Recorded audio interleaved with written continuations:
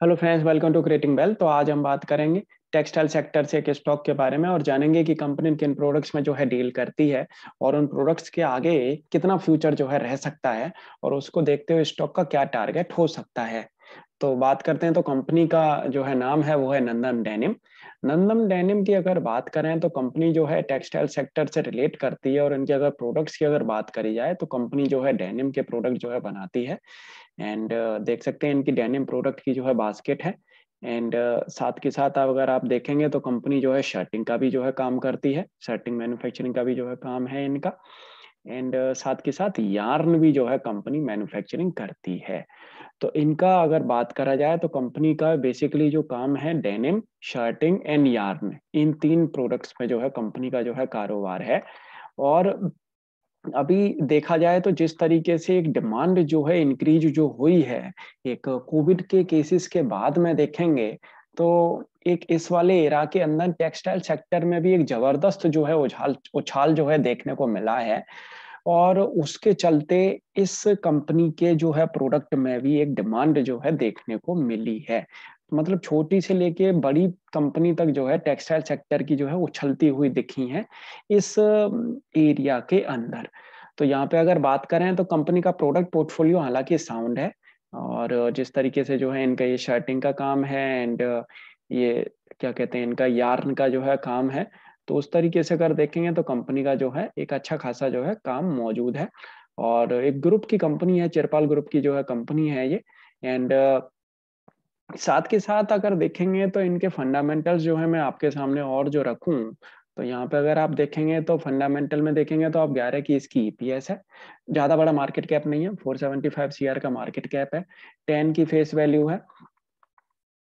And track record और देख लेते हैं डिविडेंड का ट्रैक रिकॉर्ड रेगुलर डिविडेंड का ट्रैक रिकॉर्ड नहीं है, बीस इक्कीस में ज़रूर जो है खराब होता हुआ दिखा है। अब उसको कह सकते हैं कि कोविड की वजह से जो है दिक्कतें जो है आती हुई दिखी थी, इस वजह से हो सकता है। लेकिन यहाँ पे तो कोविड के समय पे कंपनी ने बहुत अच्छा परफॉर्म करके दिखाया है तो यहाँ पे जो है ये गड़बड़ होती हुई दिखी है। सोलह सत्रह अठारह उन्नीस, हालाँकि इसने रेगुलर जो है डिविडेंड दिया है। बोनस भी दिया है 2007 के अंदर। ट्रैक रिकॉर्ड देखेंगे तो एक ठीक ठाक सा ट्रैक रिकॉर्ड है, इतना खराब भी नहीं कह सकते। एनुअली परफॉर्मेंस देखेंगे तो कंपनी की जो है मिली जुली परफॉर्मेंस आई है पाँच साल के अंदर। प्रॉफिटेबिलिटी की बात करेंगे तो प्रॉफिटेबिलिटी में डाउनफॉल के अलावा कुछ नहीं देखने को मिला है। 2017 से घटता ही हुआ प्रॉफिट दिखा है और 2021 में तो लॉस में भी पहुँच गई है। धीरे धीरे धीरे धीरे करके कंपनी लॉस तक भी जो है पहुँचा दी है। और यहाँ पे अगर बात करेंगे डेप्ट की तो डेप्ट है अच्छा खासा डेप्ट है कंपनी के ऊपर। लेकिन यहाँ पे देख सकते हैं जिस तरीके से कंपनी जो है लॉस में गई है, फिर दोबारा से जो है उठती हुई दिख रही है। तो मतलब एक डाउनफॉल देखने को भी मिला है। डाउनफॉल मिलने के बाद में एक वहाँ से जो है टर्न अराउंड भी जो है देखने को मिल रहा है।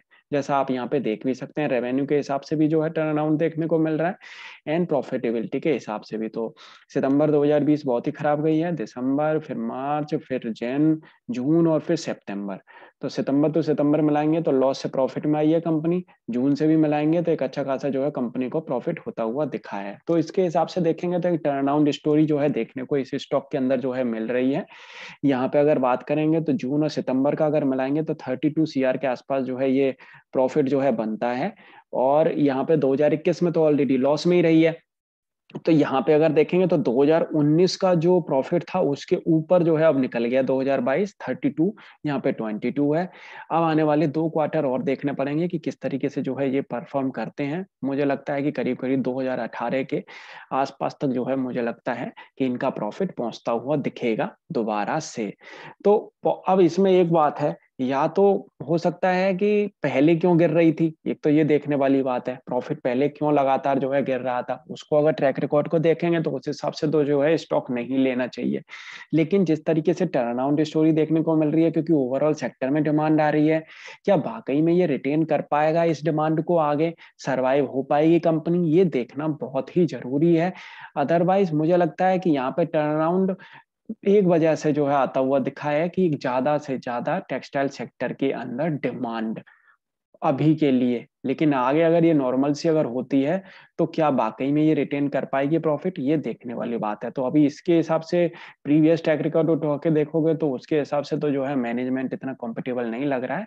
लेकिन अभी भी अगर इसको अगर डिमांड अगर रिटेन वाकई में अगर करती है तो वाकई में स्टॉक जो है लिया जा सकता है। यहाँ पे अगर बात करेंगे पब्लिक प्रोमोटर्स के पास है मोस्टली ऑल ओवर सारी की सारी जो है होल्डिंग माइनस में आ रही है अभी। डेप्ट है लेकिन कंपनी के ऊपर। डेप्ट को भी जो है नजरअंदाज नहीं किया जा सकता। तो फ्रेंड्स अगर आपकी वीडियो चलेगा तो आप लाइक ज़रूर करिएगा। अगर आपने हमारे चैनल को तो सब्सक्राइब नहीं किया है तो हमारे चैनल को आप सब्सक्राइब ज़रूर कर लें। नीचे दिए गए मेंबरशिप प्रोग्राम से जुड़ने के लिए आप हमें जो है टेलीग्राम चैनल पे कांटेक्ट कर सकते हैं। स्टॉक का चार्ट पैटर्न अगर आप देखेंगे तो यहाँ पे देख सकते हैं स्टॉक में जब स्टॉक जब स्टार्ट हुआ था तो उसके बाद में देखेंगे डाउनफॉल ही डाउनफॉल इसमें देखने को मिला है। लेकिन इस वाले एरिया के बाद में स्टॉक में एक तेज़ी भी ज़बरदस्त देखने को मिली है, लेकिन वो रिटेन नहीं की है। यहाँ से फिर देख सकते हैं आप डाउनफॉल देखने को मिला है। अब 2018 की अगर बात करें तो 18 के आसपास तक जो है स्टॉक पहले ही पहुँच चुका है, उसके ऊपर निकल चुका है, देख सकते हैं स्टॉक अब यहाँ पे अगर बात करते हैं तो स्टॉक का जिस तरीके से जो है ये अपसाइड जो है इसकी देखने को मिल रही है तो यहाँ पे अगर देखेंगे तो 50 परसेंट की रेजिस्टेंस के आसपास तक जो है स्टॉक पहुँच चुका है। यहाँ पे अगर स्टॉक अगर लेना है तो बहुत ही मतलब एक आपको एक स्टॉप लॉस इसके अंदर बिल्कुल स्ट्रिक्ट जो है लगा के आपको जो है ये लेना चाहिए। लॉन्ग टर्म के लिए तो मेरे हिसाब से जो है और बहुत स्टॉक है, उनमें से आप चूज़ करेंगे तो अच्छा है, क्योंकि उनके ट्रैक रिकॉर्ड भी देखना काफ़ी ज़रूरी है।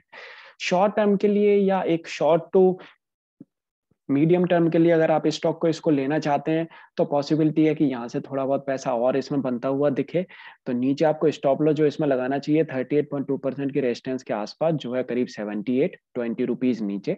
और यहाँ पे जो है स्टॉक मुझे लगता है कि अब ये जो है सिक्स अगर इसको जो है रिटेन करता है, इसके ऊपर अगर जो है, ये निकल के अगर एक परफॉर्म अगर करता है तो यहाँ से जो है ये स्टॉक करीब करीब 61.8 परसेंट की रेजिस्टेंस को चट कर चेक करता हुआ दिखेगा टच करता हुआ दिखेगा और वो करीब करीब एक सौ के आसपास तक की है। तो 120 से 125 रुपए तक जो है पॉसिबिलिटी है कि ये स्टॉक जो है आपको आने वाले टाइम में जो है पहुँचता हुआ दिखे। शॉर्ट टू मीडियम टर्म का अभी एक जो है हिसाब किताब रख सकते हैं। लॉन्ग टर्म के लिए ऐसे स्टॉक्स को लेना फंसने वाली बात होती है और स्टॉक्स बेहतरीन स्टॉक्स हैं, उनमें आप जो है पैसा लगाओ, ज़्यादा इसका मार्केट कैप भी नहीं है, वो ज़्यादा अच्छा खासा रहेगा। और अगर आपको वाकई में इसको लॉन्ग टर्म के लिए भी अगर रखना है तो अपनी स्टॉप लॉस को ट्रेल करते चलें और उसके हिसाब से जो है बने रहें। जब भी आपको लगता है स्टॉक में से जो है निकल जाए, जब भी आपको जो है इसमें गिरावट देखने को मिलती है, तब अपना भी एनालिसिस एक बार ज़रूर कर लें, उसके बाद स्टॉक को बाई से लिया होल्ड करें। स्टॉक से रिलेटेड अगर कोई और भी क्वेरी है तो आप हमें कमेंट करके पूछ भी सकते हैं। Thank you